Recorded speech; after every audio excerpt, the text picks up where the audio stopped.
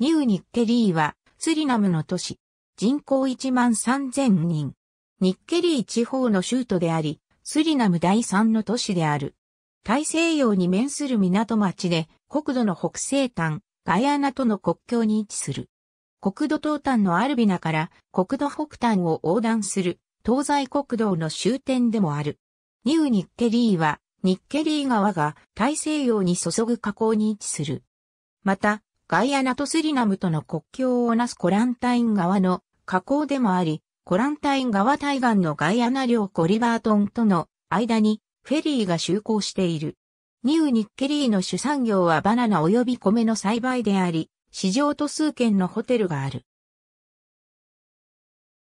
ニューニッケリーの街並み AB Population data for cities in Suriname Archived 2011年7月18日、アットザウェイバックマシン、アットワールドギャザティア、リリーブド17ノーベンバー2009、アーカイブド2012年12月4日、アットアーカイブ、イズハット、ニーブニクリー、ニクリー、スリナメ、ジョネットネームズサーバー、リリーブド17ノーベンバー2009。ありがとうございます。